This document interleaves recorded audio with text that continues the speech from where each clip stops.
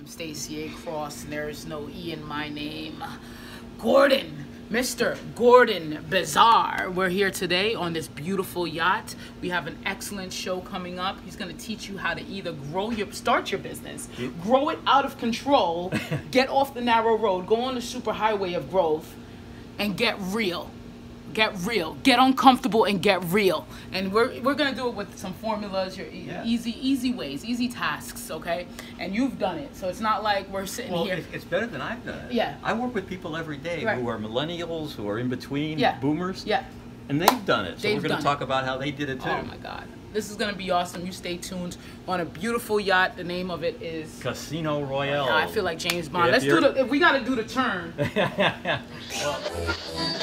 I am Stacy A. Cross, and there is no E in my, name.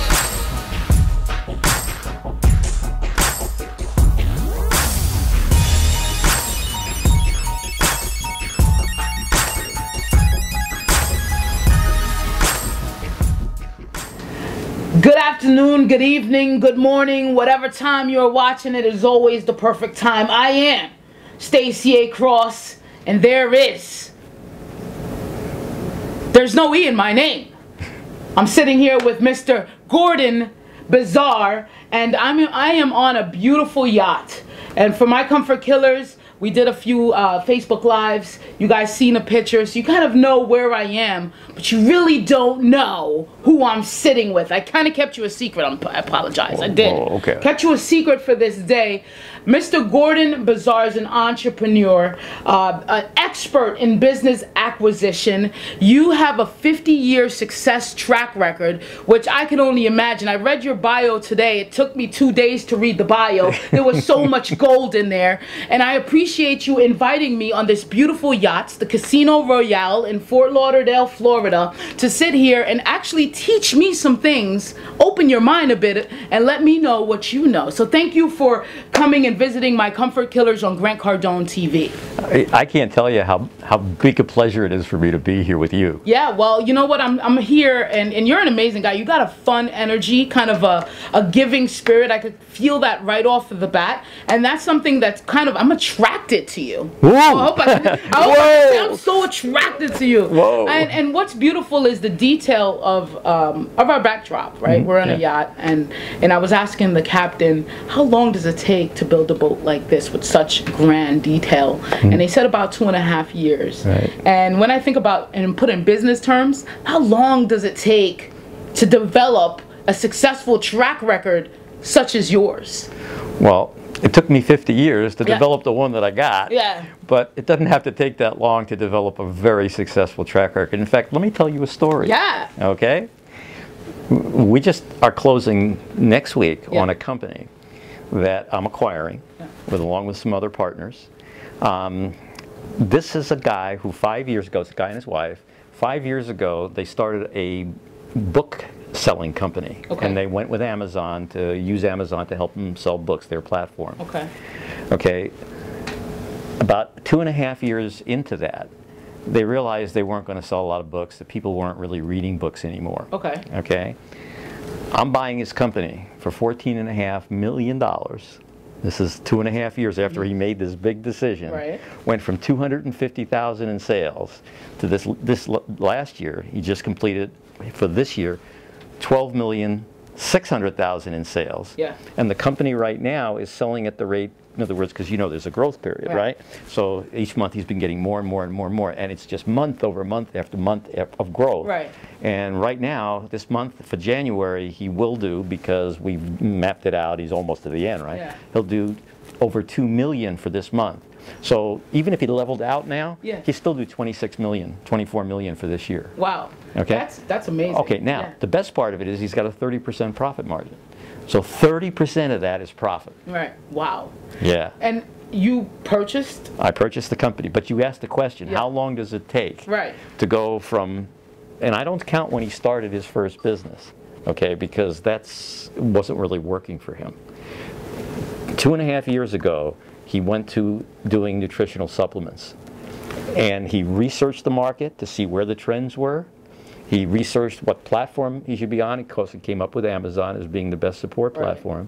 And he, so he knew the trends, he knew what products were selling into the marketplace, and he went out and researched the contract manufacturers so that he knew who was the best person to, or best companies to have it make his quality product. Made a quality product, almost no return rate. The products take off. No one returns them. Now he's getting subscribers who want to, you know, just automatically reorder the Right. product. So here's a guy that once he got his act together, once he realized that he had to do the research, he had to know the trends, he had to know where the market was going, he had to get quality manufacturers. He put all those pieces together in a matter of months, mm-hmm. and then he repositioned that business to now do a phenomenal amount of sales and be phenomenally profitable. And then when he sells it, remember, Yeah. he's not just making the money that he would make in a year. yeah. He's taking a multiple of that income. And the reason that he's selling, you're going to love this, is because he now has has reached the level of his core competency and skill set. In other words, what's he good at? He's good at recognizing the need for a product, researching the trends, putting the pieces together, marketing it, and that's it. Yeah. So his business now to go on to its next level, he's not the right person to take it on to the next level because his skill set's now been optimized out. Right. He needs people who know how to scale the business, how to add additional uh, marketing channels, how to uh, create inventorying systems and management systems, Right. and all. He doesn't know that stuff. Right. So he doesn't have to know that stuff. He just had to know how to get this thing up and running and really successful. Right. So everybody's got a core competency and a skill set, and the biggest challenge you have is to recognize what it is, and then look at the business world out there and understand where it is that you can apply that core competency and that skill set where it will optimize for you the most amount of earnings and the most amount of wealth creation. And that's what we help people do. Well, that's awesome because what you're telling me is he's great at something. Yep. And we optimize that thing. Right. He does not need to go try to scale it, get inventory, No. get a whole factory. Well, let, let- me tell you what we did. Yeah. We worked out a, an agreement with him, which we call a joint venturing agreement. Yeah. Because the, the thing I asked him is, what do you love to do most? Yeah. Okay, well, he says, I love, and then, you know, starting them and developing them and all that. And I said, well, what if you just stayed with the company? We didn't buy the full company.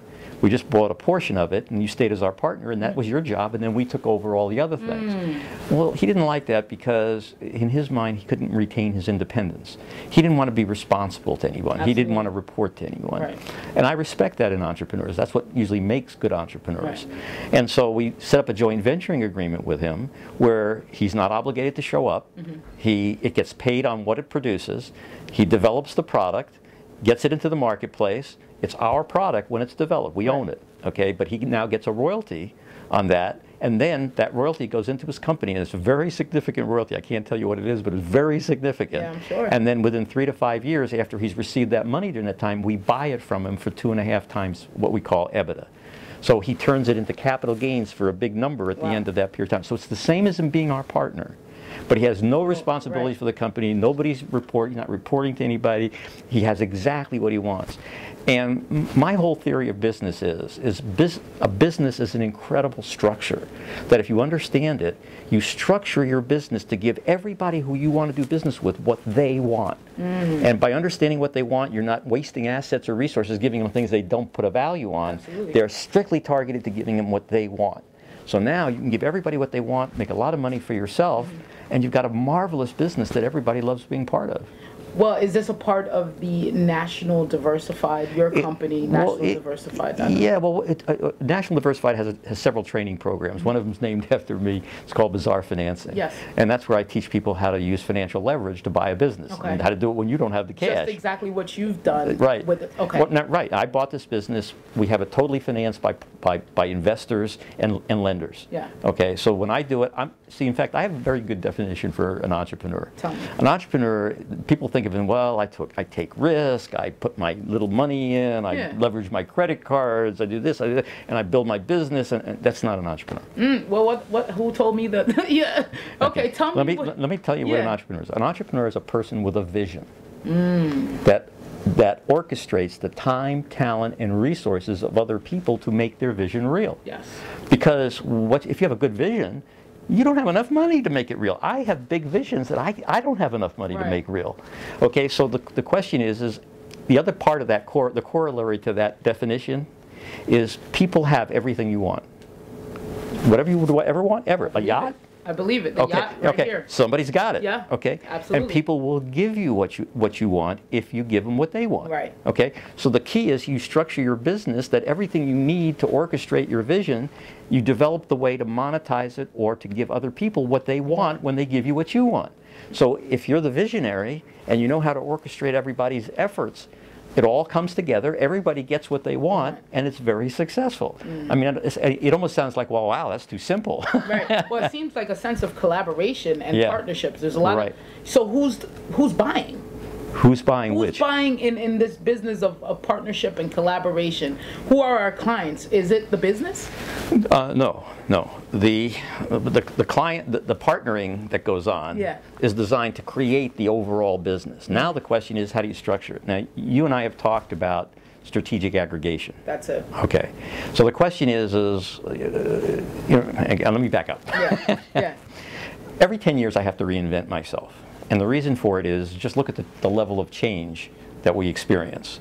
If I try to stay with a business model for more than 10 years, um, it's going to be obsolete. Antiquated. Yeah, but it's just not going to serve the right market. It's not going to have the right resources. There's something can be very wrong with it because things change. Yeah. So uh, it, it used to be every 12 to 14 years I, I reinvented myself. Then it became every 10 years. Now it's down every three years. Happening faster and faster. Yeah. yeah. So and, and you've got to look at okay, what's happened to the marketplace since I did this, Mm-hmm. and you got to be willing to review. You got to be willing to let go of what you did that was successful, Mm-hmm. and get out in front of the next big thing, right? And you got to figure, be able to figure out what it is. All right. So. Strategic aggregation, though, is a model that I've been working for 50 years. So the model has been improving, improving, improving. But what the model focuses on, the businesses that it goes after and what it does, has changed dramatically. Hmm. So, but let me give you an idea what a strategic aggregation is. And again, it's a way of leveraging assets. It's a way of orchestrating other people's time, talent, and resources where you don't have to put up the money. Right. Okay. So one of the resources that we, uh, and I'll go right here with this boat, Yeah. this yacht. Yeah. Okay, this yacht is courtesy, right now, we have the pleasure of sitting here because I have a yacht partner who anytime I need a yacht, makes sure I have a yacht. Okay? So why is he willing to do that? Why does, what makes him think enough of me that if I need a yacht, Gordon, here's the keys. You actually, been, you actually did something for him too. Right, exactly. Yeah. Okay, so let's look at, take, let's take a look Yeah. at it. Okay, so what a strategic aggregation is, is it's a, it's an organization or a collection of businesses that all service a common clientele. Not the same clients, but a common description of a client. Right. Okay? And then you create a mission for that group and then a marketing theme that enables them to work together in the way that takes every one of their individual client bases mm-hmm. and makes those clients now the clients of oh. all of them. Awesome. Okay? So if you've got 20 partners and each one is working on something that's related to this client, Client, right. okay? But they are each coming from a different place and each have different clientele. They don't compete with each other, right? Because they're each doing something different. And what that enables them to do is to work together now so that we can make the client of this one the client of that one. Absolutely. Okay, now the question is, well, how do you do that? Mm-hmm. Okay, well, it required 50 years for me to per- perfect the structure. But all along the way, we made it work. Yeah.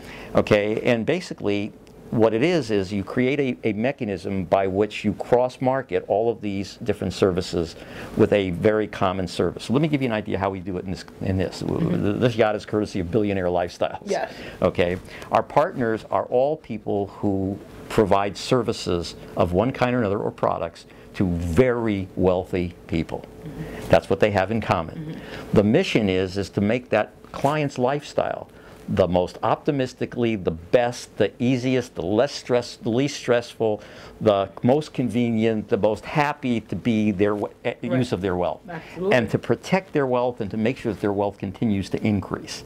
Okay, so that's the common mission. Now, all the partners have something to do with that. Whether it's their yachts that they buy, their jets that they fly, their high-end real estate that they buy, their, you can go through the whole list, right? But all of them have different clients. So what is it that this mission is? Well, the mission is to make the wealthy person's life easy. Easy, right. Well, what would do that? Well, there's a function that would do that, and we call it a concierge, right? If there's one person that you could call and you could say, John, uh, I want to have a party for my 300 best friends on Eden Island, set it up. Mm-hmm. Done. Bu- done, right? That's what you want. Right. Okay. Or, you know, we're, we're, I'm thinking about buying a yacht. Put it together for me. I need that. Right. Okay. Now, what you need is somebody who not only just says, "Whoa, I'm going to go buy a yacht." You need somebody now who has depth. Okay, has understanding of how this wealthy person needs to be served by that request, Right. because it has to be registered in a certain country, right? Because the country matters because of how the boat will be insured, how it's going to run, where are you going to port this thing? Okay, how are you going to uh, man it when it needs retrofitting? Where is it going to go? And how? I mean, you're in the shipping business when you own a yacht. I mean, you've seen this thing, right? You've been down in that engine room. You Mm-hmm. Oh, saw that. man. Wow. So you're in the shipping business. Right. Okay, so you need somebody who can manage that whole operation for you. Well, the wealthy person doesn't want to be putting all those pieces together. Right. You don't want to worry about it, want to think about it. You just want to use the yacht. And have someone that's doing it in their best interest. Yeah, just old person, absolutely, right? absolutely. Where it's based on a relationship, not a one-time purchase. Absolutely. Okay, so this is about a relationship that totally serves this person, where nobody dares to screw up. Yeah. Because the, there's too many players The- the here. pieces are right, right, right. complex. Yeah. So now the question is, okay, so we create this concierge service, Mm-hmm. and now what we have is every one of our member of the strategic aggregation. Now, when I sell when I sell a boat, when I sell a yacht, along with the yacht comes a, mem- a membership in a concierge, concierge billionaire's lifestyle so that you don't have to worry about anything with this yacht or your jet or your cars or your homes. Mm. Get it. Okay? You just make this one call and there it is. Okay? And then we structure that out of a family office. So either they already have their own family office Right. where they have their attorneys and their accountants Yeah. and people who help them manage their money, or they don't. If they don't have a family office, we have a multiple family office that we bring them into so we can handle all those services for them. Absolutely. Okay, but if they already have their family office, we work within that family office to, to organize those people's time. So when the yacht get, gets bought, uh, the accountant comes in, the, the, the lawyer comes in, Yep. everybody that has to be there and be part of it, but we've already been down this road, so we make everybody's life easy. Right, Okay? right. And we uh, accomplish everything in the most efficient way. But the key to this, two keys. One key is, is that we now have 20 of our partners, all of them had their own client base.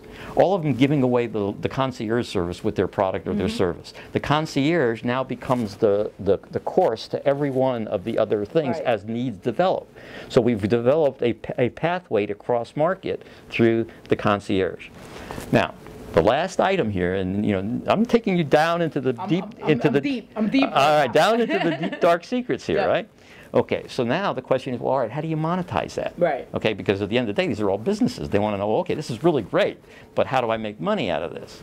Well, what we do is we create a pathway for what we call front end compensation and back end compensation. Yeah. The front end is anytime you the concierge is bringing you new business, you're doing what you do and you're going to be making a profit. Right. If you found that client on your own, we don't have anything to do with that. That's between you and your client. So you make the money on them, but now that's all these new clients we're bringing Right, you, right? right. Okay, so we ask you to split some of your revenue back to us. Sure thing. Okay, because we brought you the Makes client, sense. right? Okay? Give and get. But what do we do with it? Yeah. Okay, now, when every one of our aggregated partners brings a, a new client into the, in- into the system, Mm-hmm. our system creates a tag for, on that client, which says that forever that party is the source of the client. Mm. And now, every time that client is buying something within our system, Mm. there's back end revenue now going to that person. So the tail starts to wag the dog. Mm. In other words, we structure it so these people are going to make more money out of their passive back end revenue that That's they don't have to do anything for. Okay? Yeah. Than they make out of their front end core, core business. So everybody, once they get this, they can't wait to get their clients into the Sure system because, because that's all keep- just they, keep- they start getting checks. Okay? So you have to have a business model that shows how everybody wins when they do what you want them to do. Right. Right? Okay? You have to have a model that gives a better service significantly to whoever the ultimate buyer is than mm-hmm. what the way they're doing it now. Mm-hmm. And if you're smart, you do it in a way that's disruptive.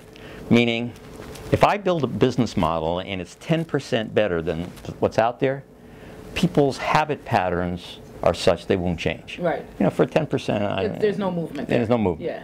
However, if it's four times better, Right. it's like Disruption. I'll I'm in. Yeah. Right? Yeah. So we have to make the model so that when people come into the model, it's like four to five to ten times better than when it, the way they used to do, Do it, right. Right. Okay. Absolutely. So that they're willing to take a little bit of risk, uh, get a little bit uncomfortable, Get uncomfortable, guys. okay, a little bit uncomfortable because they want to embrace this new model now. It means they got to make a little, couple of little changes here, just a little change. And by the way, one of the other keys too is the concierge concept. Okay, if I ask the guy who's the yacht broker to say, oh, by the way, do you need a jet? I got that too. okay, well, he's not going to say that. Right. His focus is on selling the yacht. The jet guy's focus is on selling the jet. And the jet guy doesn't know anything about the yachts, and the yacht guy doesn't know anything. And they don't, you can't do that. Okay? You can't build a system that asks people to do things that they are uncomfortable with Right. or, or just unknowledgeable about, not in the habit pattern of doing. Mm-hmm. They'll always go back to the way they used to do it. Mm. Okay?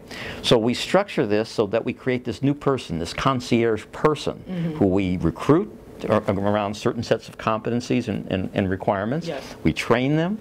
We work with them and supervise them and certify them. In other words, they got to pass tests. Right. Okay? So that when they're in that concierge position, they know exactly how to work with that client, exactly how to move that client from the product that they came from to the pro- other products that, and services that they want, right? And they're trained for that, they're there for that, they want that, and they're well paid for that. I could see how that. Okay, so, so now we don't ask anybody to do anything that they don't like doing or, or don't want to do. We have a person that's specifically trained and already motivated and well paid to do what needs to be done. We've created massive back end and front end increase in revenues for these folks. And we give the client, the, whoever the client is, a much better quality of life and a much better enjoyment of their property and, and better value of, prote- you know, higher values of protecting Right. their property, higher ways to make money. And, and uh, like as an example, we part of our group is our private equity company. Right. Well, guess what? We see phenomenal investment opportunities. We can help people without a lot of risk make double sometimes and even triple what they normally make, and not increase their risk at all for doing it. Right. So it's just one of the ways that we integrate ourselves and work and work with everybody. But let me ask you a question, and and thank you because the strategic aggregation sounds like something that a lot of people will be interested in. Is hmm. it just for the the billionaires, the millionaires, No, or no, no, no. anyone could really have a uh, strategic aggregation? No, l- l- we've created these in every industry you can think of. Let me give you an idea in real estate. Oh, okay. Okay, a lot of people love real Yeah, estate, right? yeah. Okay. Who is the central character in the world of real estate? Let's take homes. I want to buy a home. Mm-hmm. Who's the central character in that process? You Go to either the the, the, the I, I would say the home buyer. Okay, well, well, well, well, the realtor. That's that's the key. Mm-hmm. I'm talking the business Yes, side. I mean, I'm, I want to I want to buy or I want to sell. Yep. What do I do? I pick up the phone. I call a broker. Okay, mm-hmm. they're the core of business of of uh, real estate, residential real estate purchases and sales, and usually they'll represent either the buyer or the seller, and sometimes they'll even represent both. Okay, but basically they either get a listing or they get somebody who walked in the door and says, I'm, I want to buy a house. Okay, so that's their marketing, right? That's their business today. Well, that's a perfect candidate for strategic aggregation around them. What about remodelers? What about movers? What about people who um, would uh, do appraisals on a house? Do you think they ever see buyers and sellers? But they don't think of them as buyers and sellers. All they're there is collect their one thing that they do, and that's all. And they get to the sale and they stop. Right. Okay, but you must have 40 or 50 different services that all see real estate sellers or buyers either before the broker sees them, Yeah. at or around the time the broker sees them, or sometime after the broker sees them. Mm-hmm. Because I'm a remodeler, I may have a person call me because the house looks terrible and they want to improve it in order to sell it. Absolutely. I could be a remodeler, person just bought this broken down house and they call me because they want to fix it up. Right? So I'm either seeing them before or after the sale. I'm either seeing the buyer or the seller, but I'm seeing one of these parties. And this is true for plumbers, electricians. I mean, you can go on and on and on about all the different services that you could wrap around a uh, real estate business. Yeah. Okay, now all these folks have clients. All these folks are seeing clients at or around the time they're buying a house. Yeah. So they're all in a position to cross refer to each other. They just don't know how to do it and do it efficiently. So we put in place a mechanism that enables the effective cross marketing of all those services. And now everybody's clients become everybody else's clients. Okay, so all of a sudden they go from nominal sales to an explosion of new sales. I definitely see how that could work. And you just took an industry like real estate. I could see how it could work in an industry I'm in, and um, of course uh, the yacht business. And, Right. But you know, you you told me you mentioned that you reinvent yourself, and Mm-hmm. and it's all about strategic aggregation because it took about 50 years for you to perfect this.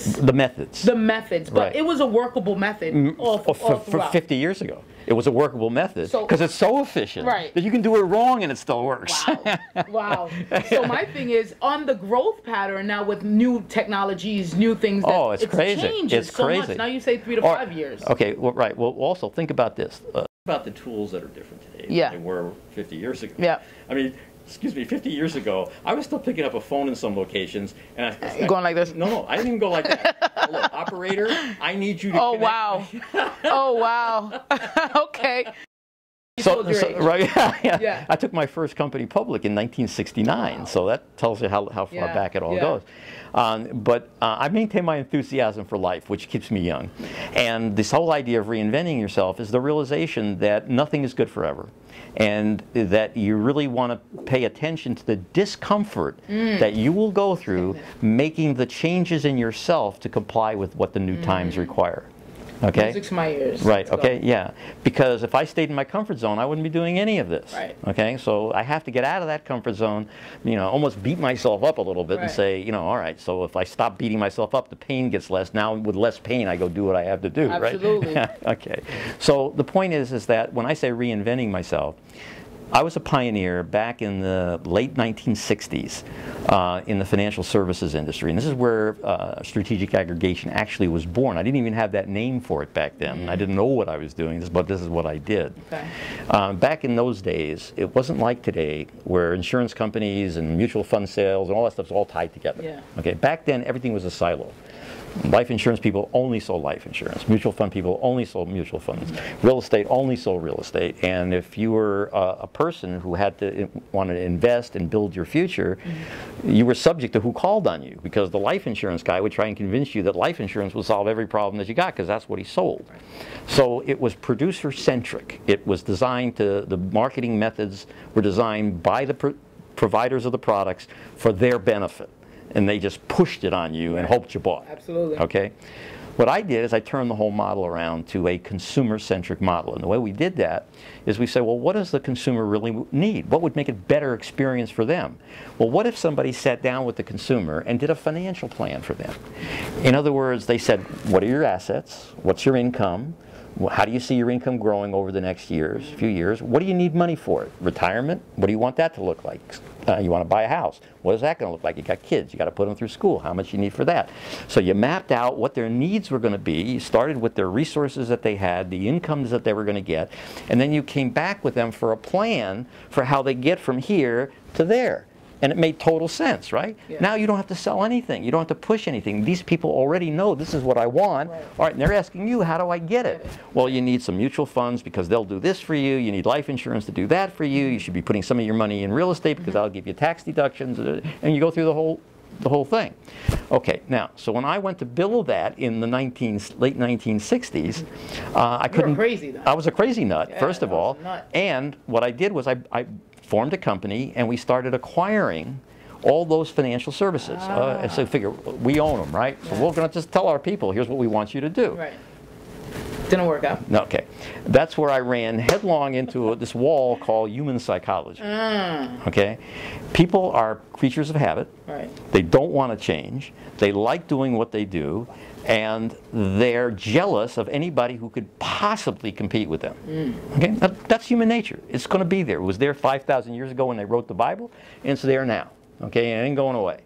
So if you're building a business model that doesn't take into, advan- into account the, the psychology of people, then you're building a, a failure model. It's, Right. it's not going to work. Right. Okay, so what we learned when we built this model is it wasn't going to work. Right.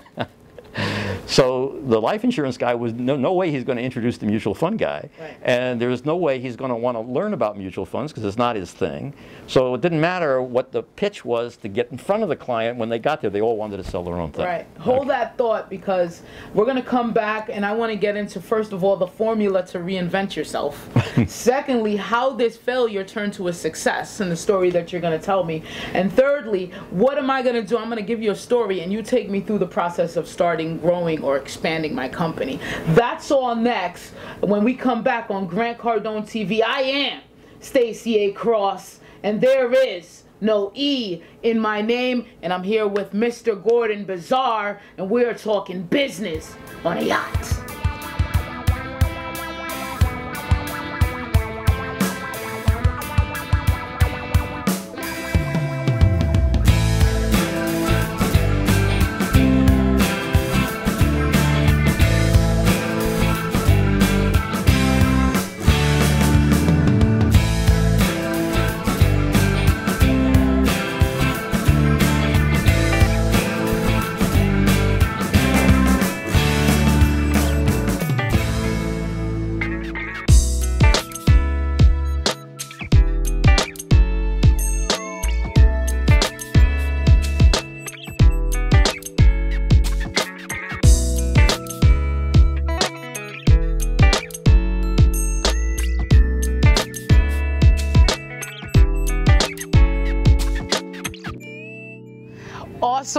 Awesome, awesome, interview I am having with Mr.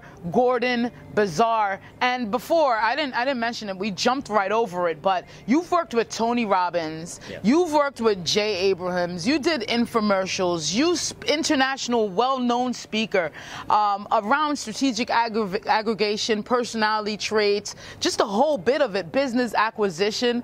I mean, like I said, I read your bio before, and I'm just like amazed at every point of interest that I'm interested in. You have some value to give on everything. So you lived a well, uh, a well diverse life in business. I think you touched all areas. Well, thank you.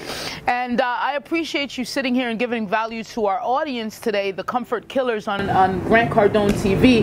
And you were telling us a story about how you failed um, at purchasing all these companies. Right. Um, and then figuring out what you needed to really do in order to see this strategic aggregation formula out. What did you have to do? Well, remember, this is going back to the very origins of strategic aggregation. Right. It hadn't even been named or, or technically invented yet. Absolutely. So we owned all these companies, and we thought because we were the owners that we could just tell our people this is what we want you to do. Right. And psychologically, it doesn't work because people want to do what they've always done. They don't want to change. Right. They're uncomfortable changing. And if your if your model means you have to change other people's behavior patterns, your your model will fail. Mm. And I proved it. I know that, that that that's what happens. But what I learned in that process was not only that we had to create something different that wouldn't change people's behavior patterns, I had to learn how to do that. Mm. And the way we did it back in 1969 is we created a new person that never existed before. Today, there's a name for that person. They're actually called a certified financial planner, a CEFP. I know And- some people that are certified. certified financial Yeah. planners. Okay, well, you are now looking at the guy who was part of the invention of that back in 1969 Awesome. at an airport in Chicago. Awesome. you're, you're a pioneer. Yes, I am. And it was, well, there was nothing to reference, so I know you were probably like, how do I do it? So it was all innovative. Yeah, really. yeah, you had to innovate. Yeah. You had to innovate. But getting back to the specifics, Yeah. okay? So remember in my story earlier, we had the life insurance guy, we had the mutual fund Yeah. Guy, we had the real estate mm-hmm. guy, all of them, they just wanted to sell their own product. And the fact that they had lots of products to sell and could do this financial plan, if they did a financial plan, it was only to show how much life insurance could be bought. Right. Or only to show how much mutual funds could be Right. bought. Because they all had an agenda and they wanted to make it to what they knew and they were comfortable with. And it didn't matter that we cross-trained them, didn't matter that we cross-licensed them, they always went back to doing what they were comfortable with and Familiar wa- with. wa- wanted to mm-hmm. do. So we invented this person called the certified financial planner. And the whole idea of that person was, is that was the person now that we, we built into the sales force. They were the people that we sent out to call on the, on the client, who then went through the financial planning and then pulled from our various businesses the Right. products that were supposed to be right for the client. Right. Okay? So until we invented that third person, it just didn't work. Yeah. Okay. You bought up all the All right, now, products. now, just to show you the difference between what that was and strategic aggregation today. Now, there are many differences, but I'll show you the main one. Okay, we have one salesperson who has to bill their clients, but they now have three revenue sources. They have three products to sell, and they can do a better job for their client. Okay, compare that to today's model where we have 20 partners, each with their own client base, Mm-hmm. all making each other the benefits of their client base. Okay, and we're leveraging off of their capital with a business that's already built and already capitalized, already earning money, already successful, already having a reputation, and we don't have to start anything. Right. We don't have to educate the prospect to anything. We just have to do a better job for them with people that are already established. So we're leveraging everybody else's capital, everybody else's database, everybody else's everything to give them all more money. this is smart. This is, uh, this, you're, you're a genius, actually. Um, But it took 50 years but to be a took, genius. it took 50 years. And that's, you know what, and it goes back to being on this yacht. And I know you've seen that we changed a little scenery here. We had to. It's a beautiful day. We're in Fort Lauderdale. Right. And it's about the details. And it's about how long it takes to build a business. But you didn't quit when you didn't understand it. 1969, right? Nope. You, you didn't quit. Nope. You, you saw something and knew that someone had to be there. You just created that person. Right. And now it's it's actually it's it's so good. You're so good at what we do. Mm-hmm. As far as strategic aggregation, it could work in different at different Any industry Any now. industry. So of course, throughout that time, since 1969, you had to reinvent yourself. Right. I'm interested in that because I believe 100% you have to reinvent yourself for new modern technology, for new industry, for whatever. But there's some core things that you would like to keep. How did you go about reinventing yourself all the way from starting your first business all the way till now? Well, I'm going to give you two answers. Okay. Okay, one of them is the, the, the broad answer, and the other one's a micro answer that anybody can take tomorrow and go use for themselves. Yes. All right, the broad answer is whatever I was in, I mm-hmm. accepted the fact that it had a lifetime. And the lifetime wasn't my lifetime.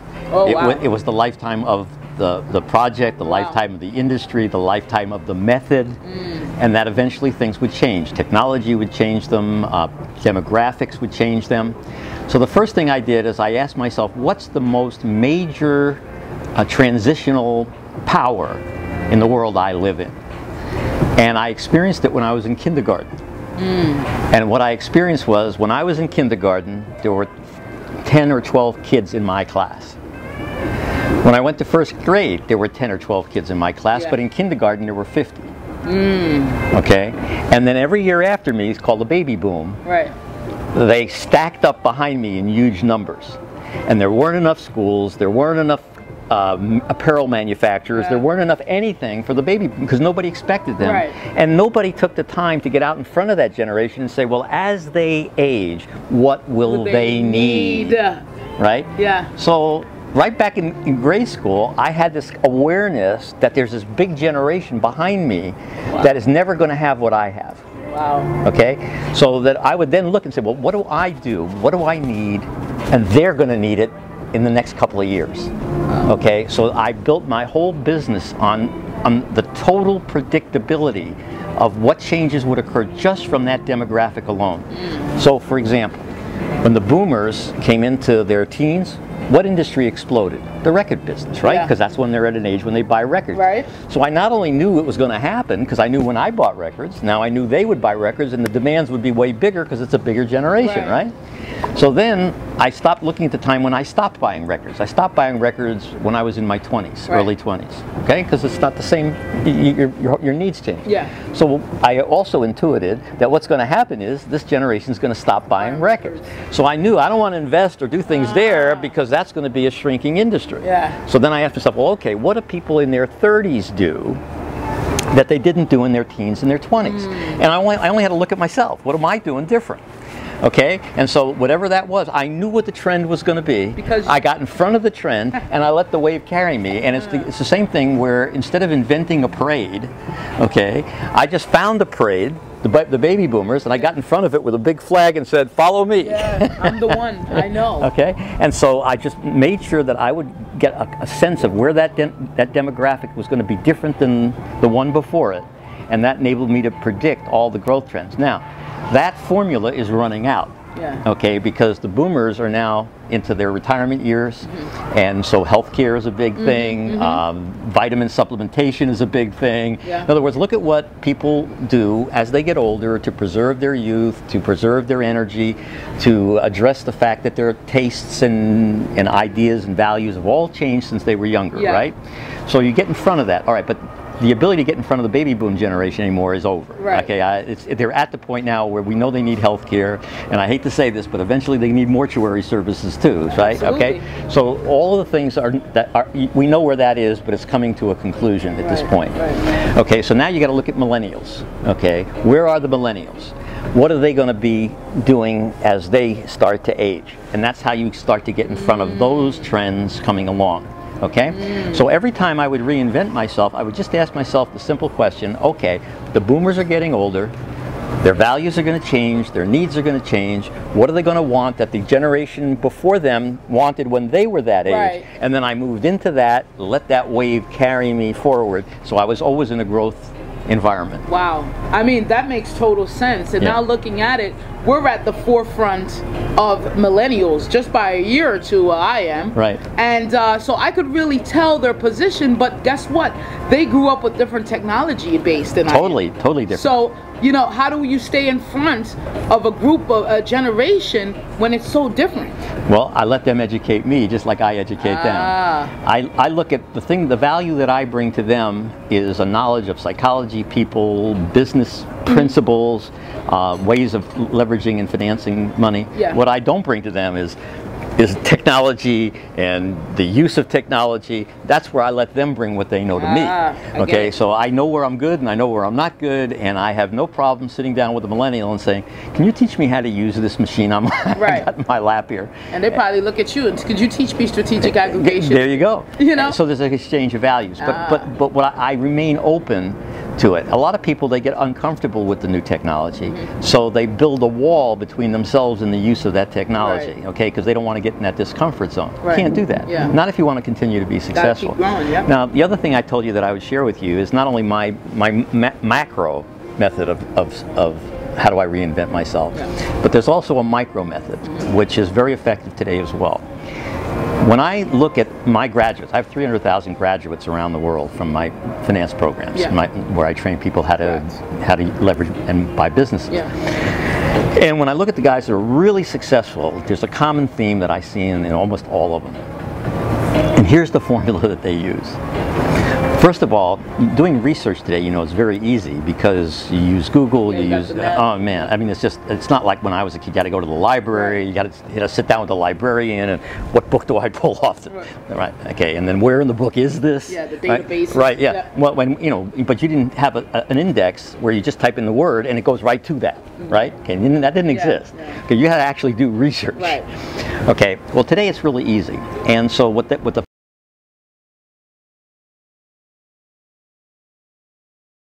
are the major trends in a field. So whatever their field is, that's fine. But in that field, what are the major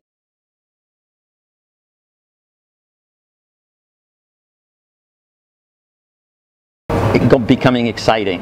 What is it that the, that is growing? Mm-hmm. Okay, and then who is it that the buyers are? Mm. Okay, now once you know what's trending, then you know what you want to have as your product or service Right. to, to beat that. Okay, now the question is where are those folks hanging out? Right. Okay, Go Are where they- the people are. Right, are they on social media? Yeah. Are they hanging out in coffee shops? I mean, where are they? Yes. Okay, and then the next thing you have to do is that you uh, you market to them through today's channels or whatever channel they have. In other words, if I'm marketing to a baby boomer, I don't market the same way. Right, absolutely. Right. Okay. So now you've done the research. You know what the hot products are, and now the idea in business today is you do not want to have bricks and mortar and machinery and equipment Yeah. and employees and mm-hmm. and inventory and warehouses and shipping department. You don't want all that. Yeah. Because to build all that today is very very expensive.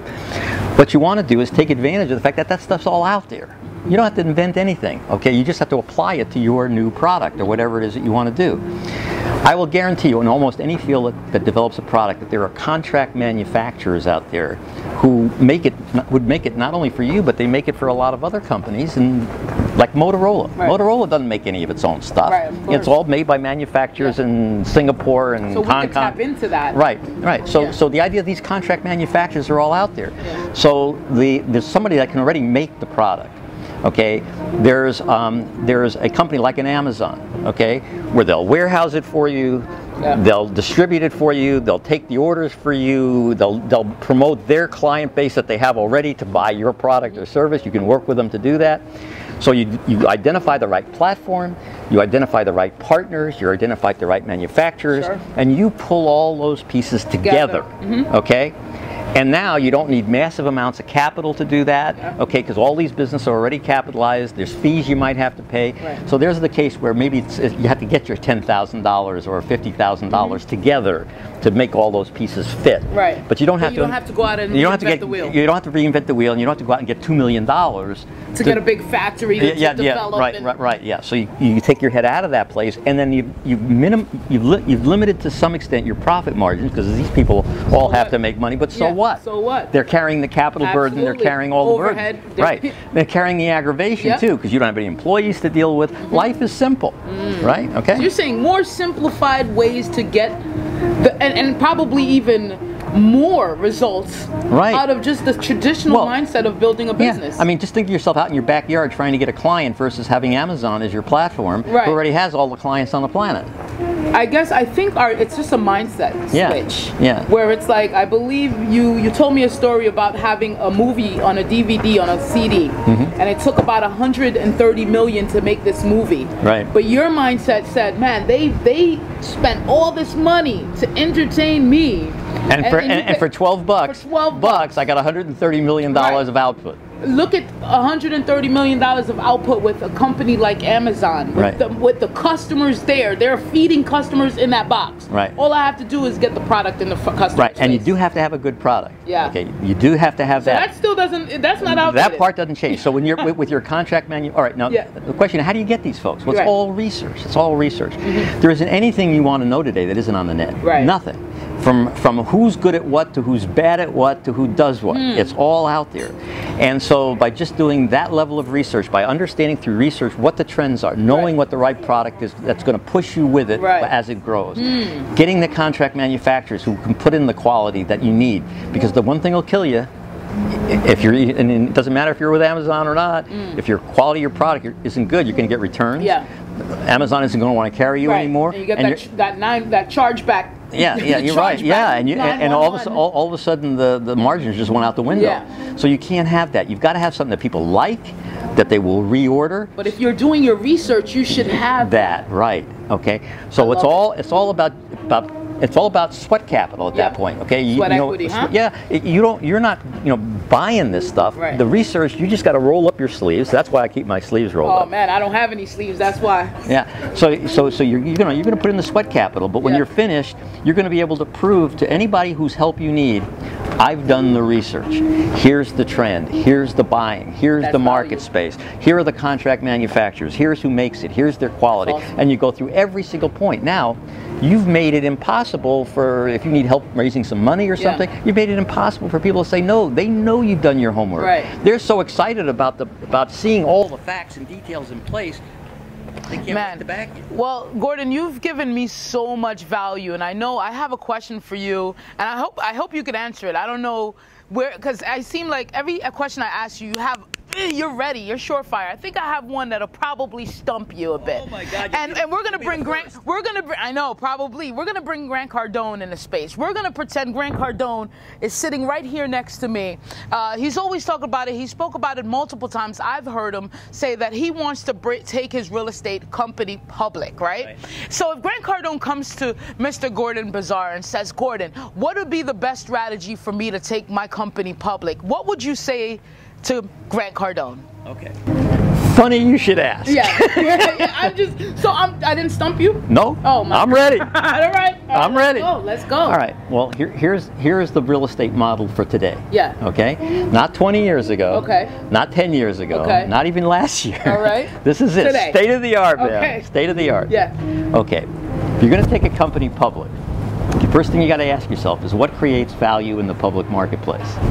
It's not assets like real estate. Mm-hmm. People don't buy a public company because it's got assets. They buy it because it has earnings. Mm. Okay, and the companies are sold on something called a PE ratio, price earnings. Okay. So let's say a company makes a million dollars in net, okay, and it sells at 20 times earnings in the marketplace. That's a 20 million dollar company in value. Oh wow. Okay? Okay. Because it's 20 times their Right.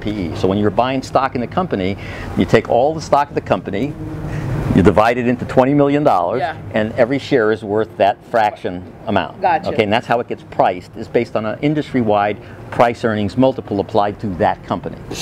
Okay? So, if Mr. Cardone wanted to uh, go he public, does. okay, he would go to somebody like a, um, um, a Morgan Stanley or a uh, Goldman Sachs, Yeah. okay, and they would look at his numbers and they would decide, okay, if we took your company public, here's what it would be, and Grant would sit there and he would say, well, okay, it's worth more that way than it is just with my asset values, Yeah. so I'm going to do that, okay, and he's leaving 90% of the money on the table when he does it, Mm. okay, all right, here's the other 90% of the money. You take your real estate company and you break it up into two companies, okay, one company owns the real estate, one company leases the real estate at a below market rate of rental. Mm. This company then releases it at the market rates and makes a lot of money. Right. Okay, this is the company you take public because it's got nothing but earnings, no assets.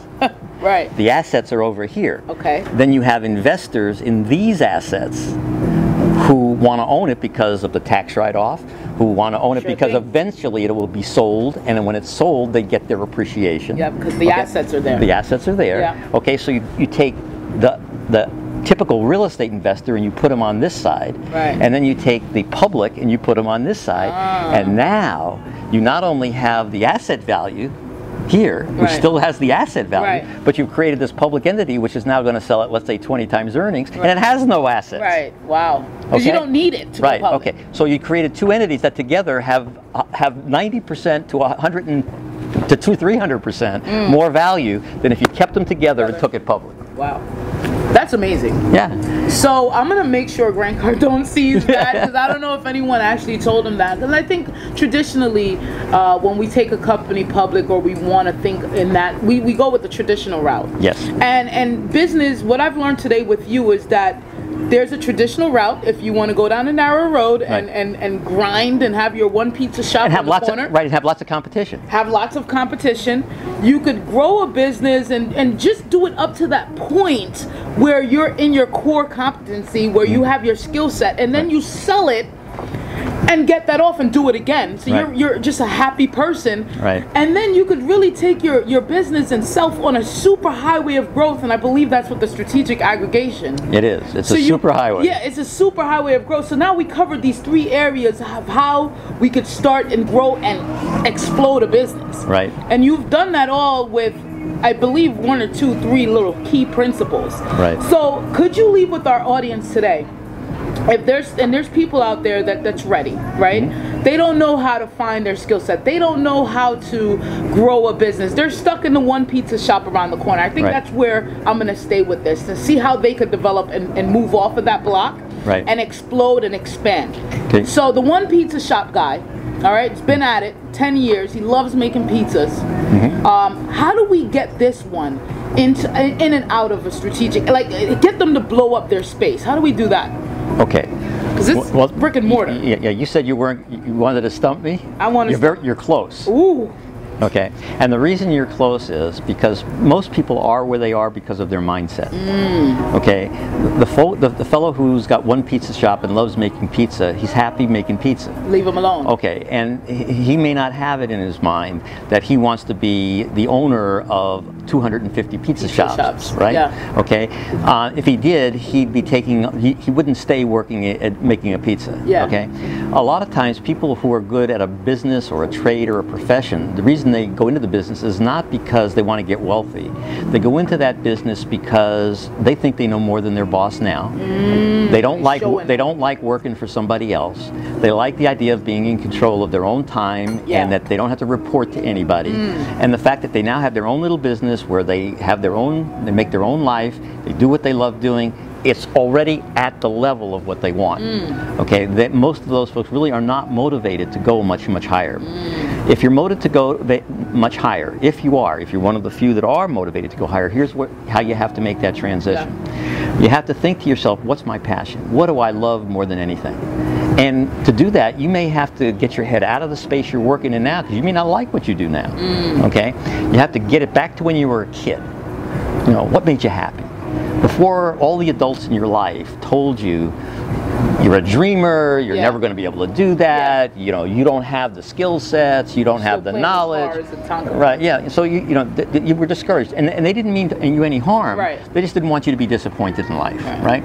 so protecting you. Right, but you eventually you gave up on those passions and those dreams because they, you were told you had to go this way to make your way in life. Mm. What I ask people to do is go back to those dreams they had when they were kids. Back when you had no capability of making those dreams real. Right. But get in touch with them because they're the core of who you are. They really are the core of who you are. And then bring yourself forward. Okay, I'm not that person anymore. I have core competencies. I have skill sets. I've had a certain amount of training.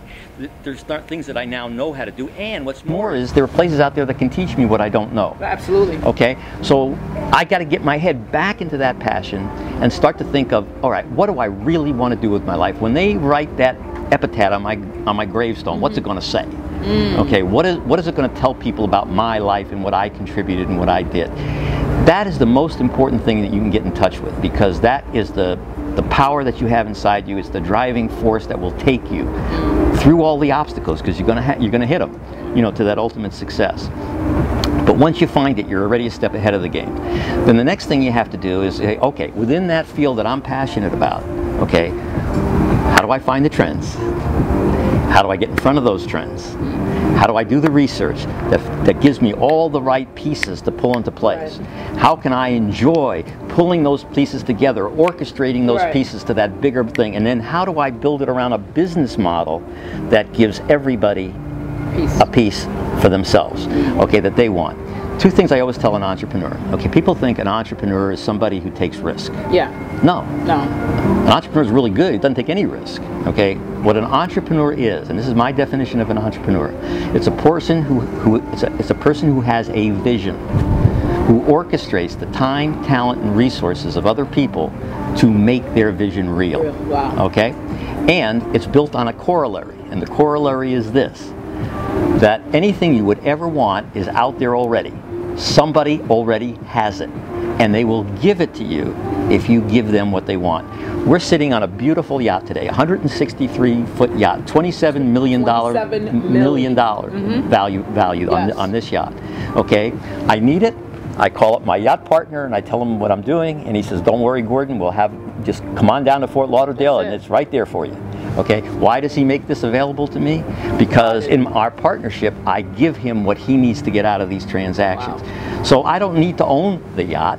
I can have the yacht anytime I want it because I give value Right. to somebody else in the way that they want value. The beauty of a business is, is it's all is it's multifaceted and it gives you the ability to structure your business so that everyone you want the help of, you can structure it so that they win when you win. Mm. Okay. So there's a win-win scenario Yeah. situation always going Right. on. And when we put together a business, we want to know the client wins, because if they don't win, it's not going to happen. Right. That our partners are going to win, our investors are going to win, our salespeople are going to win, our employees are going to win. Yeah. Whatever, everybody's got to have a win here that's bigger and better than it would be anyplace else. And the only way that happens is if you've reinvented yourself and you're now creating new value that didn't exist before. So there's no pie to split up. Right. We just make a bigger pie that everybody gets to use. I love you. I mean, I um, I absolutely learned uh, three things today uh, in these principles. That sometimes we're pushing against a wall that we need not. Yes. Because there's a door right there. cool. Right? There's a very, door. There's very a cool. door right over there. Very cool. And then um, it's the value. It's all about the value that we bring, and um, of course, an exchange, right? So we're always in exchange of That's right. value. And and thirdly, it could be done Mm-hmm. Simpler ways, and and give you the same, if not even more, results. Right. So I appreciate learning those three valuable lessons, and I appreciate us sharing with Grant Cardone how to explode his business. I appreciate my comfort killers watching. Um, I've been invited here in Fort Lauderdale and I've been kind of keeping this this meeting a secret. Because you know you know when you have something you really want to give it in the right format when Right. people are ready. And I think now is the time where people are ready to learn that sometimes there's there's a million models there's a million ways to do things right? And then you find people uh, like Gordon that's been doing it forever.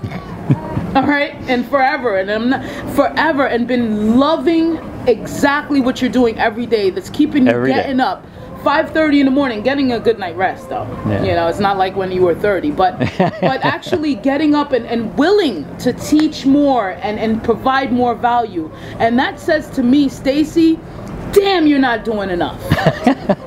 Damn and it just keeps me up and i know that's what it's going to do for our comfort killers on grant cardone tv because you provided so much value here Mm-hmm. that i could really wrap this up and sell it.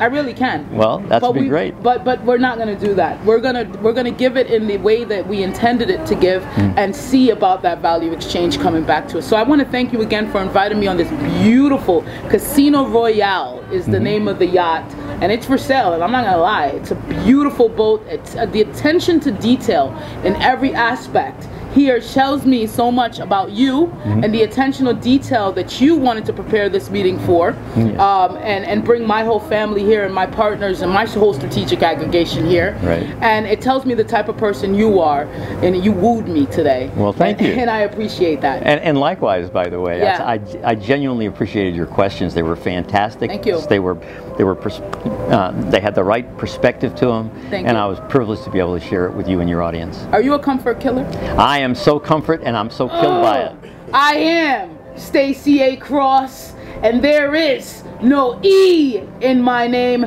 Thank you. Until next time on The Comfort Killers.